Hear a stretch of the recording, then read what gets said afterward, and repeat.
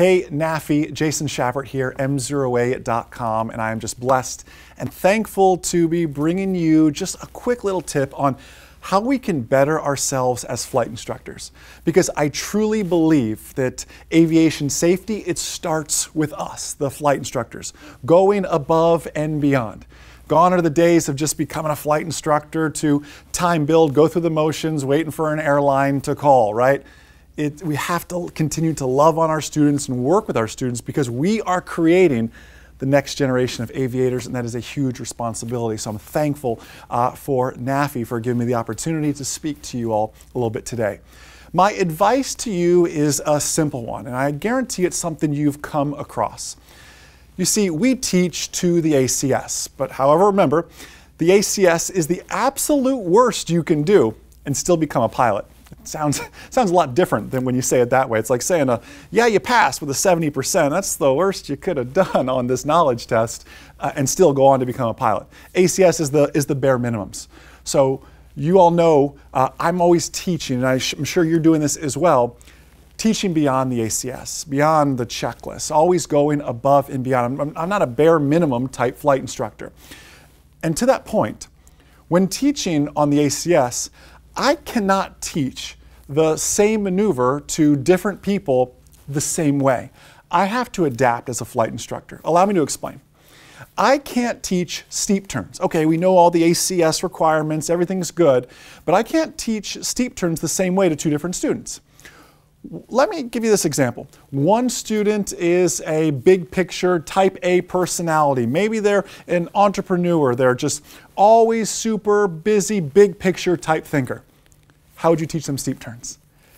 Your next student for your next blocked uh, lesson, they're an engineer and they love the nitty gritty details. They are a, a, computer engineer. They have more degrees than you and I can hold up on, on two hands.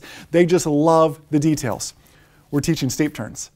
Same maneuver, same ACS specifications, two totally different personalities. You see, the entrepreneur, the type A personality, is going to want to know tell me the big picture, just kind of tell me why I'm doing this, show it to me once, and then let me try it.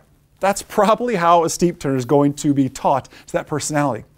Whereas the more engineer minded person, let's say, we might have a ground lesson first, 15, 20 minutes tops perhaps, talking about the vertical and horizontal components of lift and how that changes and how, and uh, maybe briefly dive into some accelerated stalls and the G loading factors that still go into this.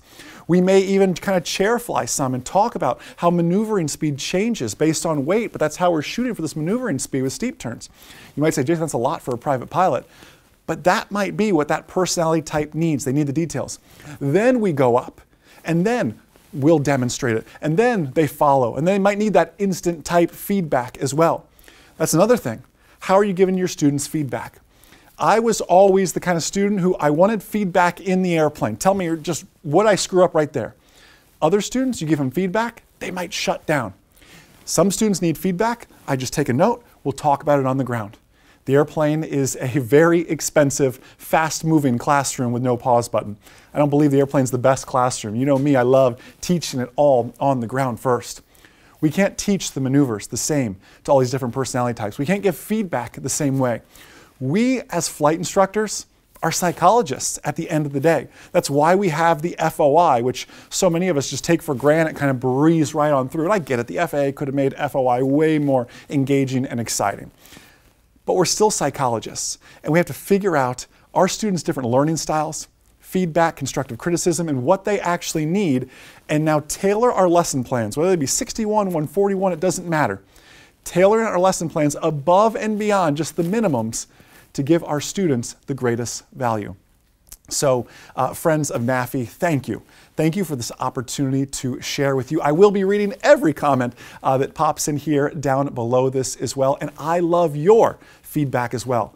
Never hesitate to reach out and say, Jason, that was good, but I wish you would have said this, or no, Jason, you were wrong there. That's how we all learn. And as a community, we get stronger and better and better through feedback from our fellow peers. And it would mean the world to me to have feedback of someone at your skill level and certificate level as well. So please don't hesitate to leave a comment as well.